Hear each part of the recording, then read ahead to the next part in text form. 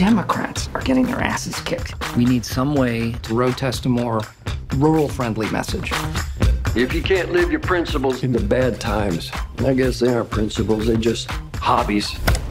Nice. John Wayne and a tractor have a baby, and all you can say is nice. Really nice. Oh my God, it's so nice.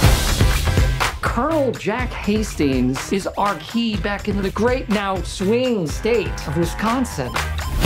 He just doesn't know it yet. Can I be completely honest with you? No bull. Be nice. My daughter's here. That was your daughter with her arm up the cow. Guys like me don't know how to talk to guys like you. Do you have a bottle opener? That's a no. It's just a twist. Oh, Twist off. Yeah, yeah, yeah, yeah, yeah. I know. Maybe he does need a bottle. Maybe use your, Probably. your vest. But I would like to offer my services. Can we quiet the cows, please? To help you run for mayor of Deerlaken. And if you could get some of them to face front. Oh my God. I am telling you guys, Jack could be the real deal. This little campaign of ours has caught the attention of the National Republican Party. Why are you here? Because crushing the last piece of hope in your eyes really gets me off. It's good to see you. Yeah. You look fat.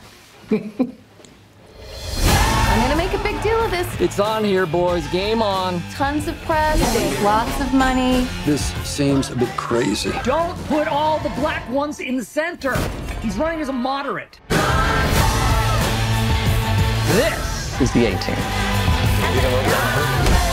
All you have is fear. 20 bucks says I do better with fear than you do with shame. The Democrat Party can't win.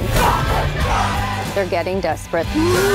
This is really just another perfect example of the DC elite trying to dictate how we should live. That's we. You're DC elite. Oh, no, actually, I'm from here. I'm from Deerlaken. That's a lie. That's a lie. No, no. here. That's what are you even doing? I- I'm from Well, that's here. always a from great here. and Thank you spirited so much. No, hey, no.